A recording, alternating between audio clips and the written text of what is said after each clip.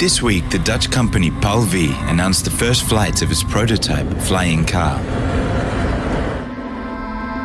This unique vehicle is called the PAL-V1, or the Personal Air and Land Vehicle, and it marks the start of a new era. On the ground, the vehicle drives like a sports car. Within minutes, its rotor is unfolded and its tail is extended.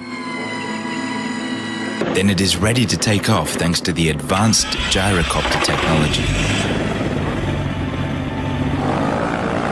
With these successful test results, it's proven that it is not only possible to build a flying car, but also that it can be done within existing international rules for both flying and driving.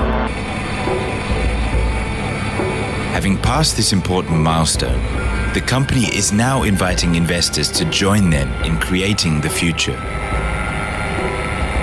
The next step will be the design of the first commercial production model of the PAL-V, and first deliveries are expected in 2014. For 100 years, people have been dreaming of a flying car, and many attempts have been made to realize this dream, but now it has truly become a reality.